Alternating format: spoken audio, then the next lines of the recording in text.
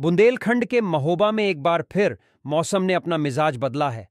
सुबह सुबह सर्द हवाओं के बीच घने कोहरे की सफ़ेद चादर से समूचा शहर ढक गया है।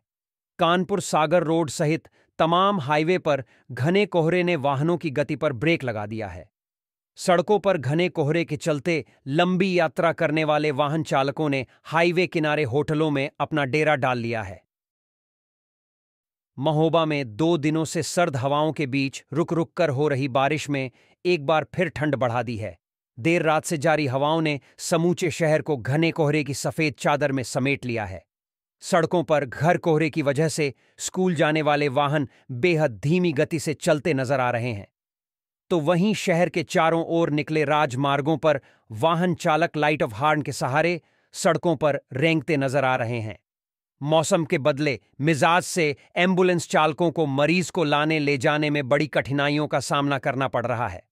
हाईवे पर दौड़ने वाले वाहन चालकों ने घने कोहरे की वजह से सड़क किनारे बने होटल में वाहनों को खड़ा कर अपना डेरा डाल लिया है।